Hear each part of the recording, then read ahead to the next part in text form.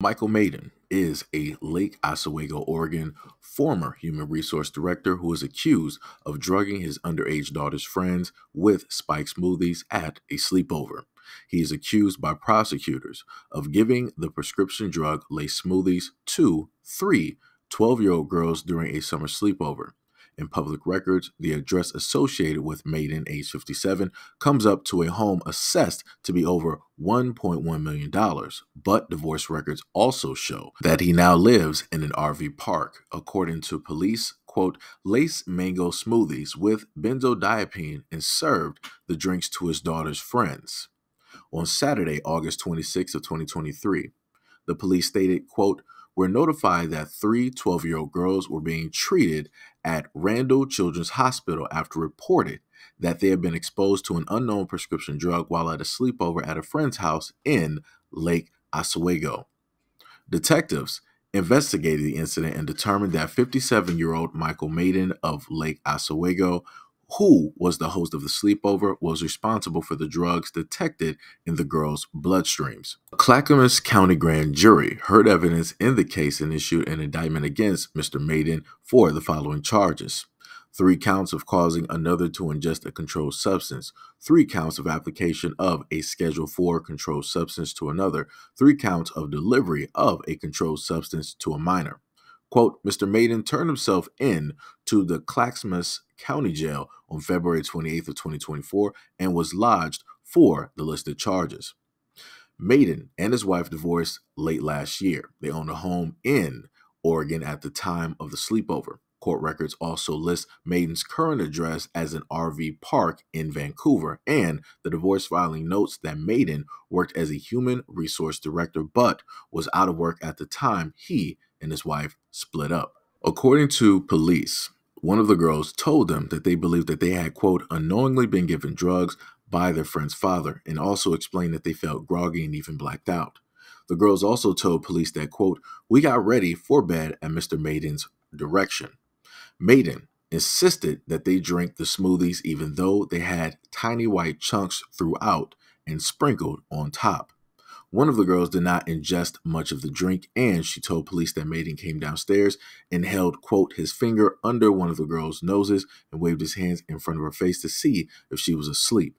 The girl remained awake in fear that Mr. Meyden was going to do something to the other girls and eventually texted her mother, quote, Mom, please pick me up and say I had a family emergency. I don't feel safe. I might not respond, but please come get me, crying emoji. Please, please pick me up. Please. Eventually, the girl was picked up, and her parents told the other girl's parents, who came to get them from Meyden's house at around 3 a.m. Quote, Mr. Meyden specifically gave each of the girls specific color reusable straws to distinguish their own drinks. Mr. Meyden was adamant that the girls drink out of their own cups. Quote, the girls stated that Mr. Meyden returned from the sliding door and stood near the headboard for what she thought was 15 minutes. The girl stated that she could feel him watching her by his presence as she kept her eyes shut, pretending to be asleep. The girl stated that when he finally went upstairs, she continued trying to get a hold of anyone she could get to come pick her up. As of right now, jail records state that Meyden is no longer being held. Meyden's attorney, Mark Cogan, stated this Mr. Meyden is presumed innocent. We have not seen the evidence.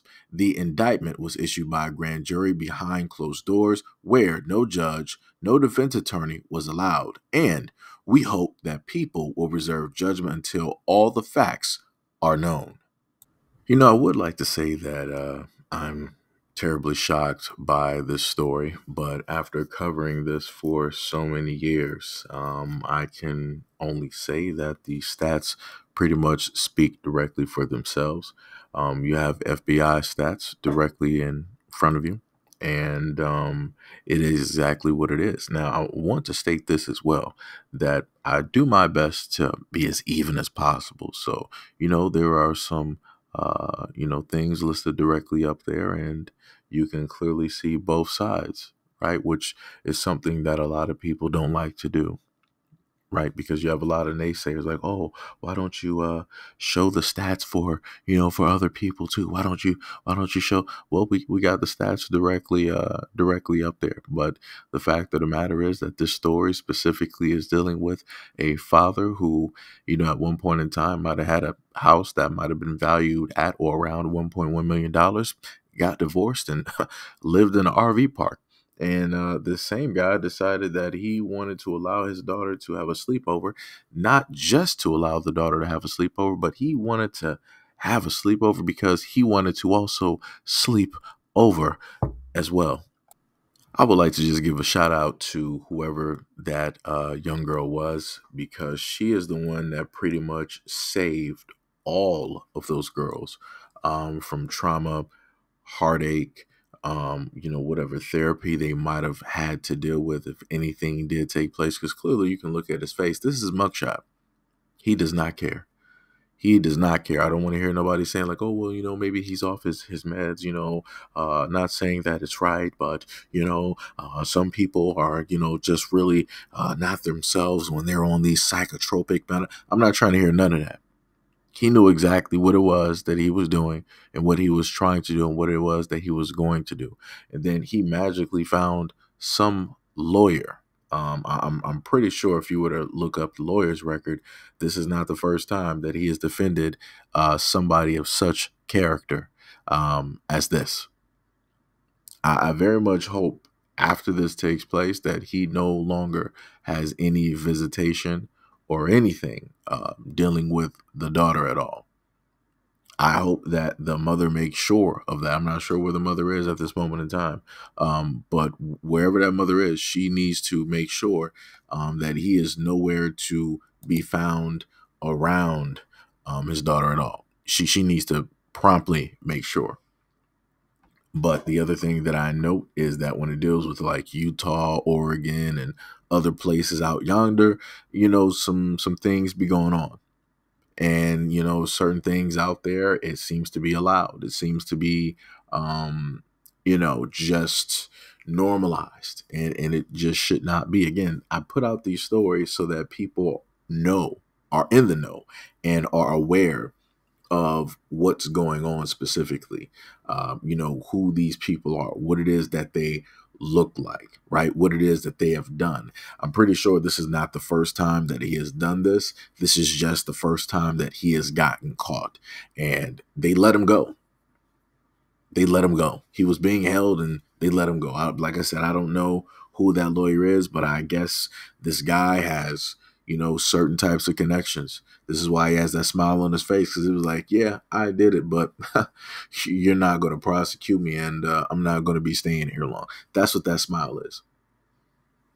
And this is what happens when you have men out here that are able to do things and they don't face consequences. There, there is no uh, potential risk to whatever it is that they want to do whatever they see that they like, they're just going to go out there and just try to take it or do whatever it is that they need to do in order to get it. And that's what he was trying to do. Again, shout out to um, the young girl that was there that, again, saved all of them. By her just be like, you know what? I'm not even about to. I'm, I'm going to just sit up there and take a, a little sip just to make it seem like I'm drinking something, but I'm really not. And I'm going to make sure that I fake being asleep because I don't trust this guy.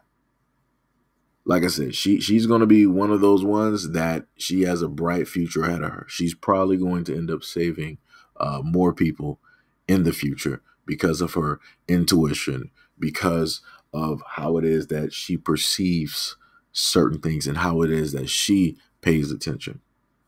That's a girl right there that should be a leader.